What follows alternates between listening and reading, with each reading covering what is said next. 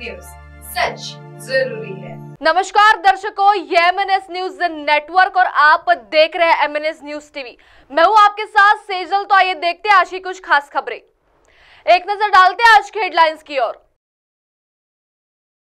योगी बाबा मेरी रक्षा करे, अब नहीं करूँगा गोकशी। गले में तख्ती डालकर थाने पहुँचा गैंगस्टर।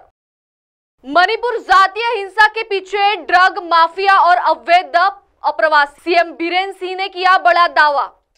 बीजेपी संसदीय दल की बैठक में बोले, पीएम मोदी 2024 में विपक्ष रहेगा बाहर। आइए देखते हैं खबरें विस्तार से। योगी बाबा, मेरी रक्षा करे, अब नहीं करूँगा गोकशी। गले में तख्ती डालकर ताने पहुँचा गैंगस्टर। यूपी के बदायूं में गोकशी के आरोपी में एक बदमाश ने खुद थाने पहुंचकर सरेंडर कर दिया। वो अपने गले में तख्ती डालकर और दोनों हाथ उठाकर थाने पहुँचा। तख्ती में उसने अपने नाम और पते के साथ लिखा हुआ था पुलिस पुलिस के सामने आत्मसमर्पण कर रहा हूँ। अब कभी गौकशी नहीं करूँगा। योगी बाबा मेरी रक्षा करे। आरोपी का नाम मोहम्मद आलम है। उस पर कई मुकदमे दर्ज है। गैंगस्टर के तहत भी कार्यवाही की जा चुकी है। वो करीब एक महीने से फरार चल रहा था। उसे पकड़ने के लिए पुलिस लगातार दबिश दे रही थी। ऐसे में पुलिस की सख्ती देखते हुए आलम ने खुद ही सासवान पुलिस थाने पहुंचकर सरेंडर कर दिया। सरेंडर करने के बाद पुलिस ने आलम को हिरासत में ले लिया, फिर कोर्ट में पेश किया, जहाँ से कोर्ट ने उसे जेल भेज दिया। आलम के सरेंडर करने के दौरान का एक वीडियो सामने आया है, जिसमें वो गले में तख्ती डालकर थाने में एंटर करता हुआ नज़र आ रहा है। आलम के गले में जो तख्ती लटकी थी, उसमें लिखा हुआ था, मैं गैंगस्टर मामले में सासवान, पुलिस के सामने आत्मसमर्पण कर रहा हूँ। अब कभी गोकशी नहीं करूँगा। योगी बाबा मेरी रक्षा करे। जानकारी के मुताबिक ससवान कोतवाली क्षेत्र के गाँव खेरपुर खैराती निवासी आलम गोकशी के कई मामलों में आरोपी थे कोतवाली पुलिस ने कुछ दिन पहले ही उसे और उसके गिरोह पर गैंगस्टर की कार्यवाही की थी। गोकशी के मामले में जेल जाने के बाद वह जमानत पर बाहर चल रहा था। आइए बढ़ते अगली खबर की ओर। मणिपुर जातीय हिंसा के पीछे ड्रग माफिया और अवैध प्रवासी सीएम बीरेन सिंह ने किया बड़ा दावा। मणिपुर के मुख्यमंत्री बीरेन सिंह ने सोमवार को राज्य में महीनों से जारी जातीय तनाव के लिए ड्रग माफिया और अवैध प्रवासियों को जिम्मेदार ठहराया। सिंह ने मौजूदा संकट के लिए राज्य की सीमाओं की सुरक्षा में पिछले सरकार को विफलता को भी जिम्मेदार बताया। मई महीने से कुकी और मैतेई समुदायों के बीच जातीय संघर्ष के कारण लगभग 200 लोग मारे गए हैं। और साठ हज़ार से अधिक लोग बेघर हो गए हैं।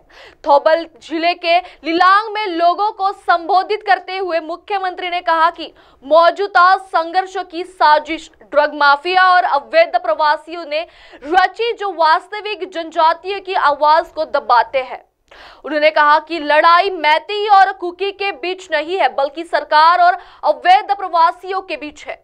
मुख्यमंत्री ने कहा कि मैं रोज अपने कुकी दोस्तों से फ़ोन पर बातचीत करता हूँ।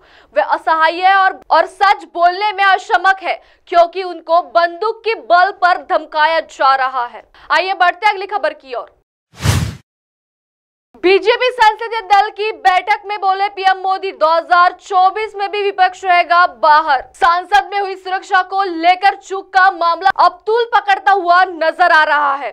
पक्ष से लेकर विपक्ष के बीच आरोप प्रत्यारोप का दौर शुरू हो चुका है। इस मुद्दे को लेकर अब तक पीएम मोदी ने जमकर विपक्ष पर निशाना साधा है। वह बीजेपी सांसदीय दल की बैठक में पीएम मोदी ने विपक्षियों पर निशाना साधा है।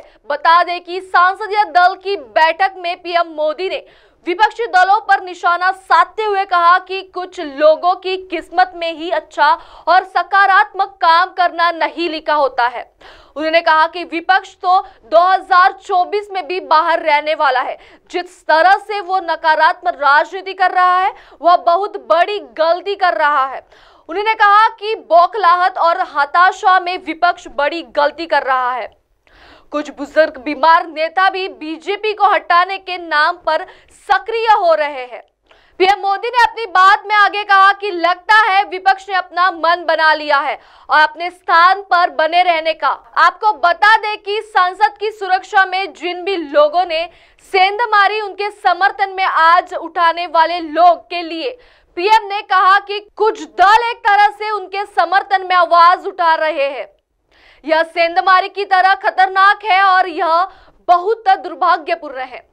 पीएम ने कहा कि जब 2014 में हम सत्ता में आए थे, तब 18 साल के वोटर्स 10 साल के थे। आगामी लोकसभा चुनाव में जीतने को लेकर पीएम मोदी ने कहा कि विपक्ष 2014 में भी बाहर रहने वाला है। अब आप हमारे चैनल को आपके मोबाइल पर भी देख सकते हैं। मोबाइल ऐप पर देखने के लिए play store MNS news TV app से डाउनलोड करें। इंस्टा, हाइक, ट्विटर, फेसबुक और कई सोशल मीडिया प्लेटफॉर्म पर हमारा चैनल उपलब्ध है। आप इसे यूट्यूब पर भी देख सकते हैं, आप इसे लाइव भी देख सकते हैं। डब्ल्यू पर। अब वक्त हो चला है दर्शकों ब्रेक का। ब्रेक से लौटने के बाद देखिएगा देश और दुनिया की तमाम बड़ी खबरें। बने रहिए एमएनएस न्यूज़ टीवी पर। नमस्कार।